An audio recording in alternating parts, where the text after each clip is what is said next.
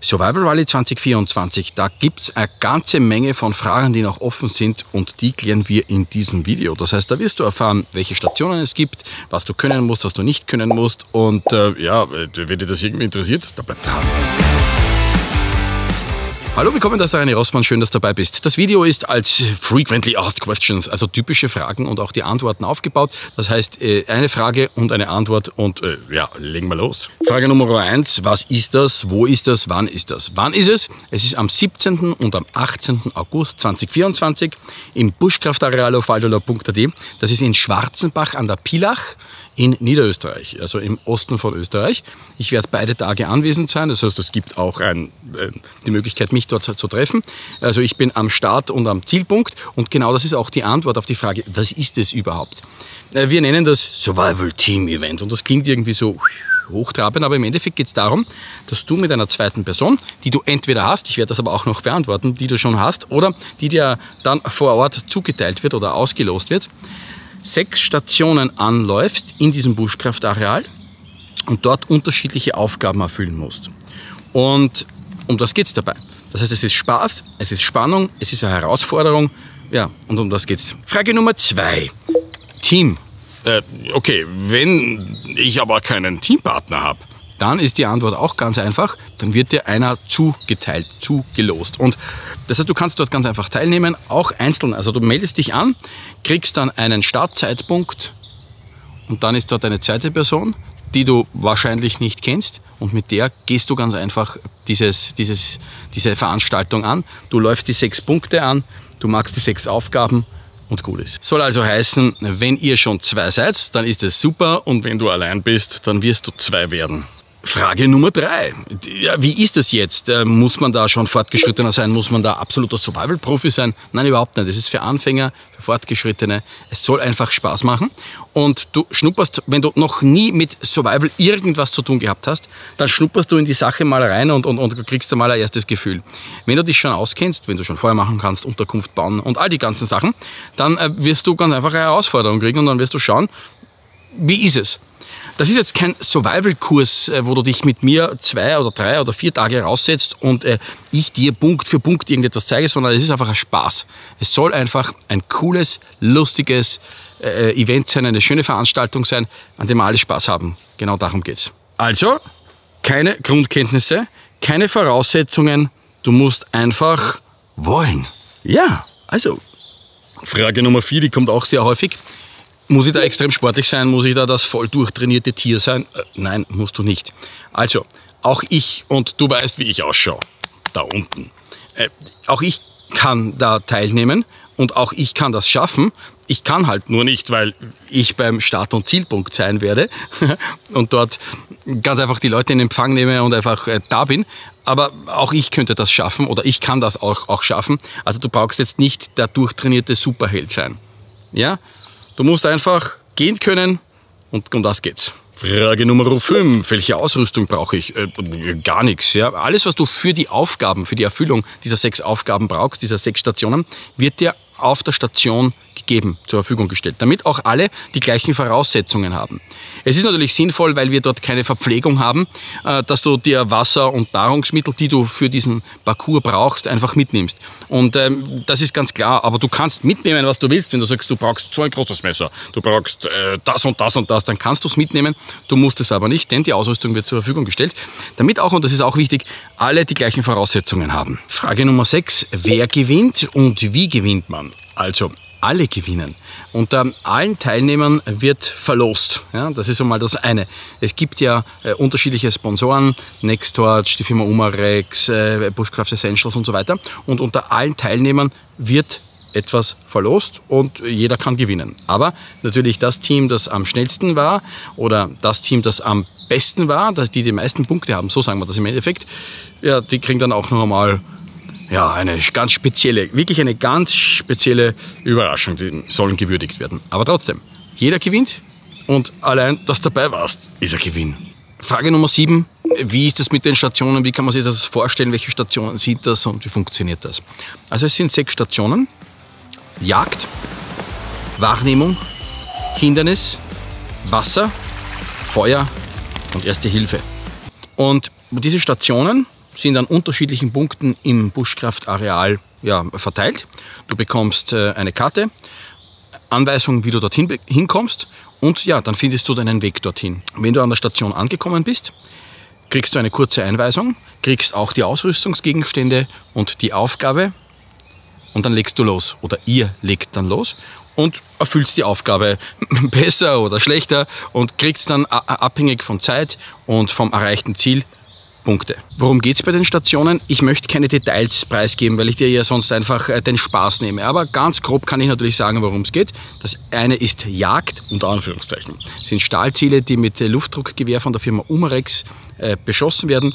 Und äh, wie weit oder was oder wie, das möchte ich nicht erzählen. Aber wer gut schießen kann, ja, er hat auf jeden Fall Vorteile. Dann gibt es eine Station äh, Wahrnehmung. Da geht es um eine Höhle. Du musst in einer Höhle unterschiedliche Gegenstände ähm, finden und die dir merken. Und umso besser du das kannst, äh, umso besser wird es für dich auch funktionieren oder für das Team funktionieren und ihr kriegt mehr Punkte. Das wird äh, von der Firma Nexttorch, werden da die dazugehörigen Ausrüstungsgegenstände zur Verfügung gestellt. Keine Sorge, weil auch die Frage war, man, muss man sich da abseilen, muss ich da Kletterer sein, muss ich da Höhlentaucher sein, also sowas. Nein, überhaupt nicht. Keine Vorkenntnisse, ganz normale Standard-Grundfitness und du wirst die Aufgabe erfüllen können. Ja, das ist äh, die Wahrnehmung. Bei einer Station geht es um das Überwinden von Hindernissen. Künstliche und natürliche Hindernisse müssen im Team überwunden werden. Auch da möchte ich keine Details preisgeben, aber weil äh, auch da äh, man sich vielleicht denkt, mm, das ist vielleicht zu kompliziert für mich. Das würde ich schaffen. Ich würde es schaffen. Ich wäre sicherlich nicht der Schnellste, ganz sicher nicht, aber auch ich würde das schaffen. Also du brauchst dazu kein äh, Zehnkämpfer sein. Keine Sorge, Hindernisse, natürliche künstliche Hindernisse überwinden. Es gibt eine Station Erste Hilfe. Auch da brauchst du kein ausgebildeter Rettungssanitäter sein, sondern einfach hinkommen, kriegst eine Einweisung. Das macht äh, die Firma Critical Knowledge und dort hast du eine erste Hilfeaufgabe zu erfüllen. Auch für Anfänger, auch für Nichtwissende auf jeden Fall schaffbar. Und wie gesagt, keine Sorge, das soll Spaß machen und das wird es auch. Dann gibt es hier eine Station, da geht es um das Thema Wasser und ich kann auch dazu sagen, es ist Wassergewinnung. Und man kann im Endeffekt sagen, die Gruppe, die am meisten und am schnellsten und am meisten besten Wasser gewinnen kann, hat die meisten Punkte. Und darum geht's. Also du musst kein Filter bauen, du musst kein Profi sein, äh, ja, Wasser gewinnen. Und die letzte Station ist Feuer machen, eh ganz klar, gehört zum Überleben mit dazu. Und da musst du oder müsst ihr im Team ein Feuer machen. Und zwar, ihr kriegt einen Feuerstahl zur Verfügung gestellt, natürlich einen XL-Feuerstahl aus dem Hause Reine Rossmann. Und müsst in einer Buschbox Feuer machen. Und ja, das ist es im Endeffekt. Und wenn du jetzt sagst, das wird sicher ganz einfach, dann sage ich, ja, es wird sicher ganz einfach. und wird Spaß machen. Also bei diesen Stationen geht es darum, in einer vorgegebenen Zeit mit vorgegebenen Mitteln das bestmögliche Ergebnis zu liefern. Und die Gruppe, die das am besten hinkriegt, kriegt eine extra Würdigung. Das sind dann die ersten und ja, aber alle anderen Teams haben genauso die Chance bei der Verlosung, bei den Sachpreisen einfach zu gewinnen. Nummer 8, wie ist das organisiert mit dem Start, mit dem Zurückkommen, mit Übernachten und solche Dinge. Also äh, Übernachten, es gibt das Buschkraftareal auf waldola.at und dort kannst du dir zum Beispiel, wenn du mit deiner Familie anreisen willst, ja, einen ganzen Zeltplatz oder eine Hütte oder ein Haus mieten. Äh, deine Familie bleibt dann äh, dann vor Ort im Haus oder äh, auf dem, auf dem Camp, du gehst zu dem Event und wenn du fertig bist, kommst du wieder zurück. Das ist eine Möglichkeit. Die andere Möglichkeit ist, wir arbeiten daran, dass es äh, die Möglichkeit gibt, einen eigenen Zeltplatz zu nutzen. Da hast du halt dann nicht das ganze Areal, sondern bist mit den anderen Teilnehmern auf einen Zeltplatz. Wir arbeiten daran und werden sicher eine Lösung finden, werde ich auch noch äh, bekannt geben. Was jetzt das Starten und Zurückkommen betrifft. Am Startpunkt gibt es erstens mal die Umarex Testing Area. Das heißt, dort kannst du mit unterschiedlichsten äh, Umarex-Teilen wie Luftgewehr, äh, Paintball, ähm, die, die mal ausprobieren. Ja, Testareal. Dann werden dort auch andere Unternehmen sein, die, wo du dann zum Beispiel von Nextorch die Lampen ausprobieren kannst. Es wird Amibac äh, mit dabei sein, äh, mit ihrer Kopfbedeckung, die ich ja großartig finde. Und viele, viele, viele, viele mehr. Schau auf die Webseite, dort findest du alle Informationen. Äh, Bushcraft Essentials äh, wird etwas zur Verfügung stellen. Also das ist ja, äh, dort gibt es sozusagen die große Rambazamba. Dort ist der Start.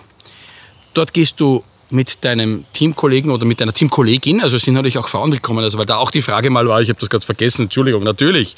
Reine Frauenteams, gemischte Teams, alles kein Problem, ja, kommt, es ist, es ist lustig. Von dort gehst du dann, geht ihr dann als Team weg, läuft die einzelnen Stationen an, erfüllst dort die Aufgaben und kommt dann am Ende wieder zurück. Und dort wird dann sozusagen die Endzeit genommen. Ja, und dann bist du dort, kannst dann auch die Testing Area noch einmal ausprobieren. Äh, ich bin dort, wir werden dort Spaß haben. Ja, und das ist es im Endeffekt. Und es gibt Samstag und Sonntag. Du wirst dir an einen Tag äh, zugeteilt. Du hast dort einen gewissen Startzeitpunkt, an dem du äh, da sein musst, weil wenn du nicht da bist, ist irgendwie blöd, das verstehst du sicher. Und dann legst du los. Und das ist es im Endeffekt. Details, wie, was, wann, wo und wo das im Gelände ist, kriegst du nach der Anmeldung. Das, das, heißt, wenn du dich jetzt anmeldest auf survivalrally.at, bekommst du danach eine E-Mail. Da sind dann alle Anmeldeinformationen noch einmal enthalten. Wo musst du wann sein?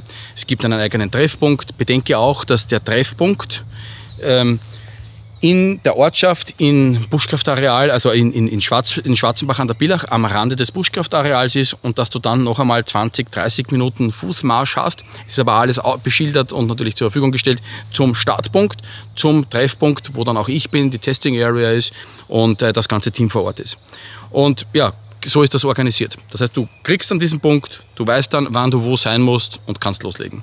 Wenn ihr die letzte Station angelaufen habt, geht es wieder zurück zum Ausgangspunkt. Da müsst ihr dann wieder den Weg zurückfinden. Und äh, ja, wenn ihr dann eintrefft, dann bekommt ihr erstens mal Survival Rally Patch, den nur die Teilnehmer bekommen, den man dann mit Stolz tragen kann. Und ein kleines Geschenk für alle, die es geschafft haben, aber da will ich nicht zu viel verraten. Ich glaube, ich habe jetzt alles Wichtige gesagt. Die Fragen, die gestellt wurden, hier jetzt beantwortet. Wenn du noch eine Frage hast, dann melde dich bitte direkt bei uns und dann beantworten wir das.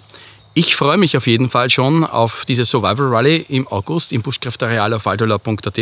Das wird eine Gaudi, wie man in Österreich sagt. Ich freue mich, wenn du mit dabei bist. Wenn du noch Fragen hast, stell sie. Und denk dran, Survival kann auch Spaß machen. Also zumindest bei der Survival Rally.